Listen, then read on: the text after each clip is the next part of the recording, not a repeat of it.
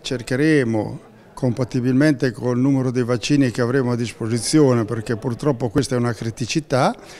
al, al momento. Cercheremo di vaccinare più eh, pazienti possibili, soprattutto coloro che rientrano co nelle cosiddette categorie a rischio e gli ultra sessantenni, perché è chiaro che eh, limitare l'epidemia influenzale avrà degli effetti positivi anche sulle, sulla pandemia da coronavirus e a noi permetterà anche di eh, essere facilitati nella diagnosi differenziale fra le due patologie che a volte eh, sono abbastanza sfumate. Alcuni medici già hanno iniziato a fare eh, le vaccinazioni nei propri studi con mille difficoltà, devo dire, perché purtroppo eh, gli spazi non sono più quelli del, degli altri anni. Eh, tenete presente che dobbiamo contingentare eh, l'ingresso dei pazienti nei nostri studi, quindi la massa di eh, vaccinati, di, di, di, pazienti da vaccinare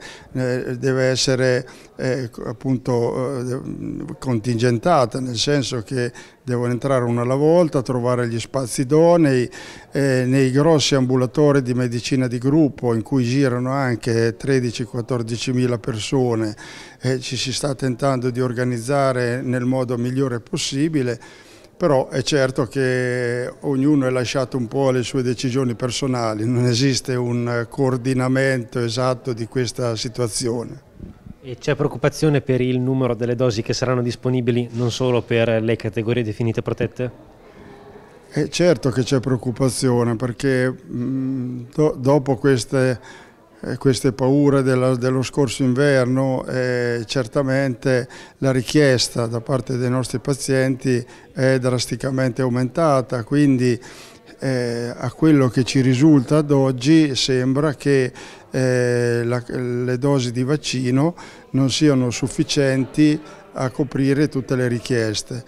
non solo quelle obbligatorie per legge, quindi gratuite, ma anche per quelli che vogliono farla privatamente.